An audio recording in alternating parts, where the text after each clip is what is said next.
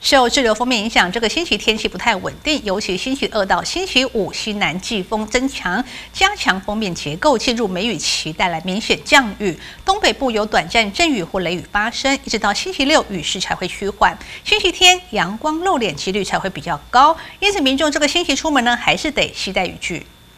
气象局指出，这周都会有锋面在台湾附近徘徊，天气不稳定，水汽偏多，容易下雨。周二二十四日至周六二十八日，西南季风增强，加强滞留风结构，进入梅雨旺盛期，全台都有局部阵雨或雷雨发生几率。二三、二四、二五、二六、二七，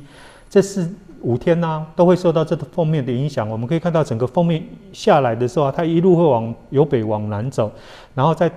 花莲这边呢，基本上还是会形成一个比较嗯呃偏东北风，然后是偏东风的情形。所以，我们这这一周在前五天，就是星期一到星期五，就是二十三到二十七号的时候啊，都受到这方面的影响，所以天气都不是很稳定，有些局部地方可能还会有一些雷阵雨。不是阵雨这个情形哈，不过到了二十八号的时候，我们就可以看到啊，封面大概就已经影影响我们的比较小了哈，开始转变吹南风，所以二八二九就是星期六、星期天的时候啊，目前看起来二星二八二九啊，天气会比较好，不过可能吹南风起来了，湿度可能就会比较高哈。然后我们可以看到高温呢，大概都在呃。二六二七附近呢，就是星期天的时候，因为开始天气会比较好，所以温度会比较高一点点。然后低温大概都在二十三、二十四一个情形。伴随降雨，气温偏凉，周末封面将会北移，但水汽并未趋缓太多。降雨将集中在台湾中南部、东半部，有机会阳光露脸，不过仍有零星短暂雨几率。提醒民众这周出门要携带雨具，做好防疫。